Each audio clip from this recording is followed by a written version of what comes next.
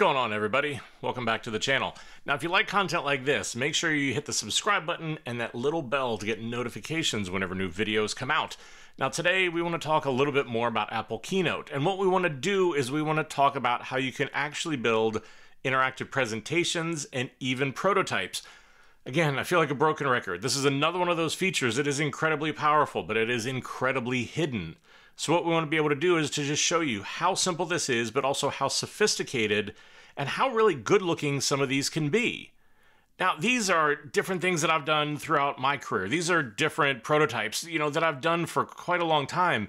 And you can see just how sophisticated they get. You can see the level of animation, the level of fidelity, and that this is something that you can easily take around. You can socialize it to different people. You can let them see what your vision is just in a really simple sort of way. So that's what we want to talk about today, is how to build these interactive prototypes and presentations in Keynote. Okay, so here we are back once again in Keynote.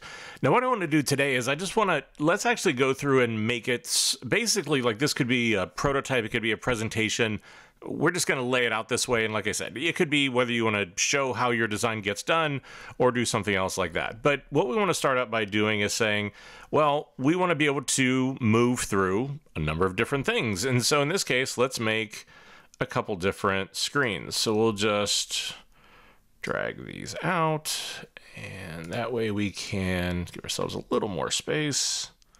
Okay, and then just to make this a little bit easier, Let's make these different colors and we'll go through and change the numbers so now we can tell them all apart. We can just quickly go in, make those a little bit bigger so they're a little easier for everybody to read. But the idea here is that these could be different screens. These could be different slides. This can be just sort of anything that they're going to represent. But what we're going to want to be able to do is to be able to just say, okay, look, this is going to be about where the phone is going to be or where the screen would be. So we want to be able to have go one, two, three, four. Easy enough. So let's take this, duplicate it out four times, grab these on the second one, put the second one in the center, third one, third one in the center, and then finally, and obviously fourth one, fourth one in the center. Now, simple, be able to go through, put a magic move on all these so that they slide. That's a little slow, so we'll make it move a little bit faster. That feels a little bit better. Okay, so now one, two, three, four. Easy enough. Now, what we want to be able to do is to add screen controls, which would basically be like things of saying, okay, look, what I want to be able to do is whenever I click on the right, I want it to go to the next screen. Whenever I click on the left, I want it to go to the previous screen. So again, sounds simple enough. But so what we want to do is let's create some boxes. And here again, so they're easy to see, let's make them different color. For right now, we will say they are yellow. And on this first one, I just want to put one over here on the right-hand side because when I'm on the first one, there's not a back, right? So that way on this first one and the last one, we're only going to have one. The two in the middle will have two. Now, here comes that little secret sauce that I talked about before. So what you want to do is whenever you have this square, and we want to use this as our trigger. So if I click on this, it's going to go to the next screen. And what you want to do is to right click on that. And so the thing you want to do is here, add link. So again, this is another one of those fun little features. And what you can see here is that I can go to a slide, a web page, or an email. So slide is what we're going to work with today. Web page would obviously be if there's something you want to reference, if there's a web page you want to talk about in the middle of a presentation, that's what you use. I don't, I don't know what email is for. I, I don't know why I'd want to send an email in the middle of a presentation, but it's there. I guess if this was a kiosk or something, right? So what we want to do is we want to go in and we want to pick slide. Now we'll see we have a number of different options here. And here again, you can change it up here. And they now have also added exit slideshow. So if any point you want to be able to stop, you can do that. But I want to go to a slide. And I, here I have next, previous, first, last, last slide viewed, or slide number. So in this case, I just wanted to go to the next slide. Now the thing here is to actually have this work, and it's going to feel a little weird, the two buttons down here, you actually don't want to click because go to slide. If I click that, you'll see now it moved me to slide number two over here. Well, that's not actually what I wanted to do. So now if I go back, edit link, you'll see the other one is remove, I don't want to do that either. So all you would need to do is just click off it. And I know that doesn't make a ton of sense, but that's what you need to do. So here, let's go through. And what we're going to do is we're going to put these on these three slides here. So this one here and here, because those are all next. Now, the other thing that we're going to do is then to put previous. And so previous, do it here. Move that over to that side. Edit link, previous slide. Click off it again copy and paste, copy, paste, paste. Okay, now that's the basics of this.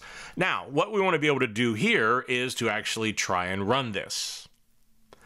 Okay, now what you can see is whenever we're going to go through and do this, whenever I click on that right yellow square, it's going to take it to the next screen. And whenever I click on the other square to go back, then it's going to take me back. So again, this is a simple way to be able to do this.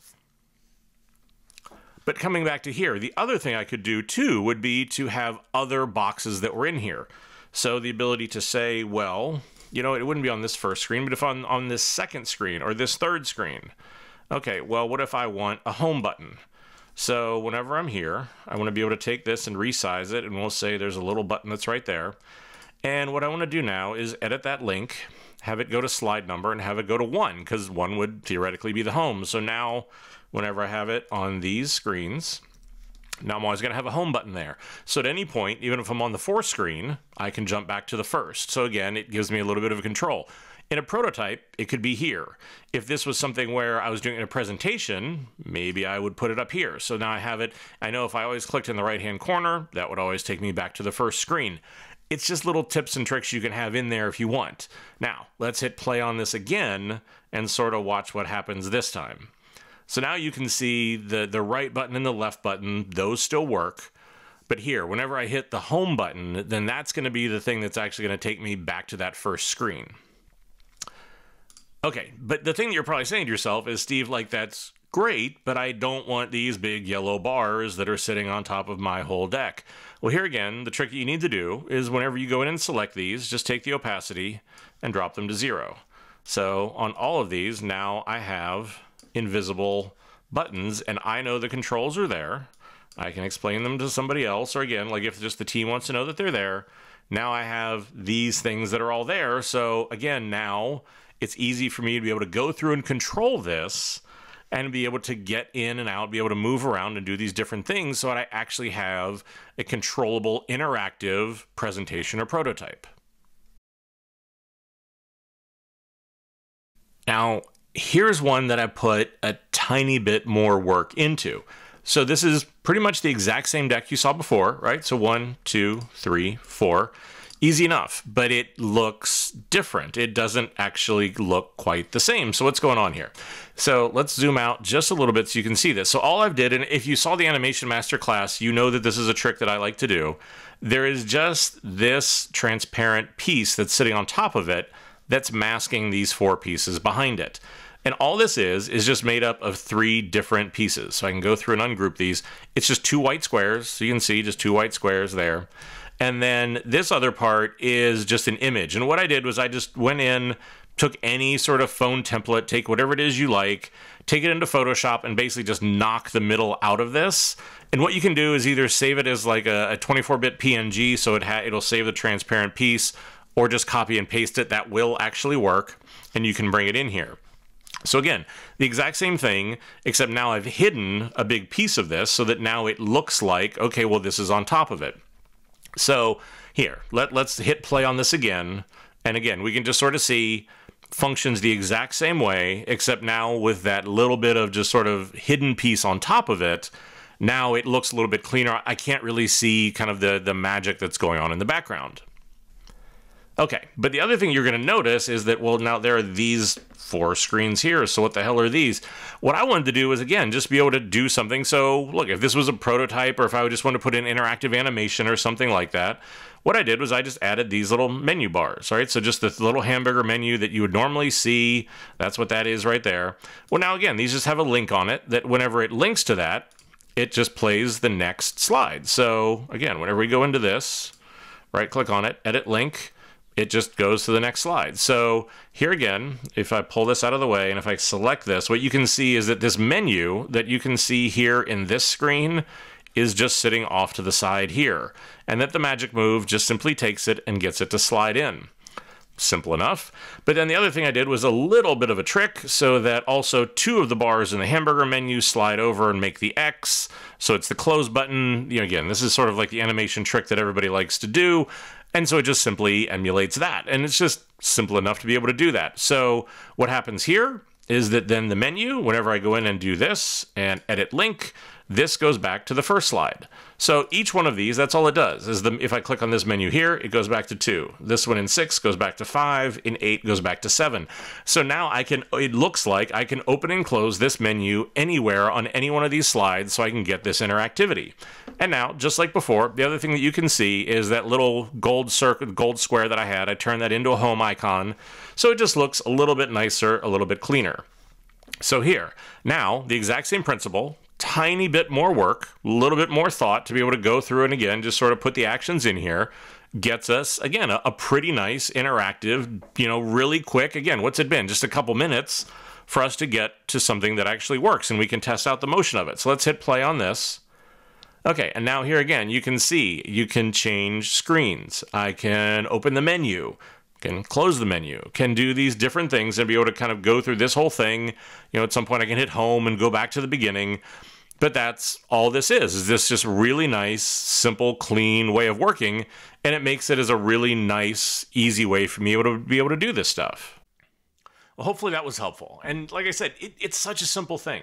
And once you know how to do it, and once you see it, this is another one of those tools. It's incredibly useful and incredibly powerful for you to be able to have in your portfolio of little tips and tricks and things to do. Now remember, if you like this content, make sure you hit the subscribe button so you get more videos like this whenever they come out. And again, if you like it or if you have any questions, feel free to leave comments down below and I'll get back to everybody I can with that. But hey, hopefully you had a little bit of fun. Hopefully you learned something. And as always, stay crazy.